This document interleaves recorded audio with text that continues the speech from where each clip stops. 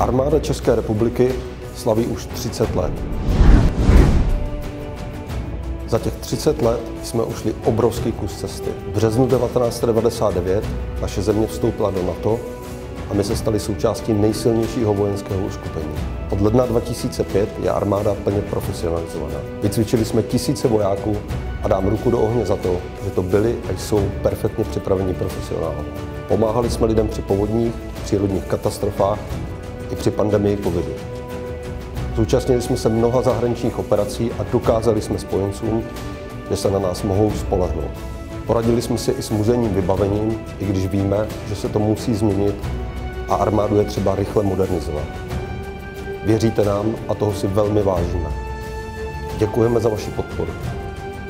Naše armáda má stoletou tradici sahající až k našim legionářům. Poučili jsme se z historie. Válka na Ukrajině nám znovu ukázala, že žádný mír netrvá věčně. My jsme tady od toho, abychom chránili naši zemi a naše společné hodnoty. My vojáci přísaháme, že budeme věrní České republice a pro obranu vlasti jsme ochotni nasadit vlastní život. Na tom se nic nezmění. Díky, že vám můžeme sloužit.